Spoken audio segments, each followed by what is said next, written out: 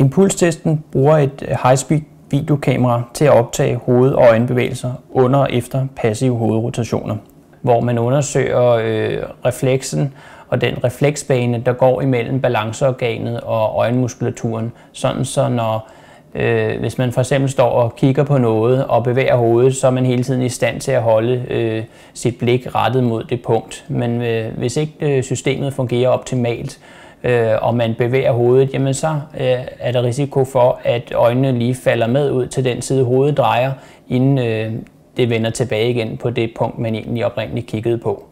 Øh, så den refleks øh, undersøger vi.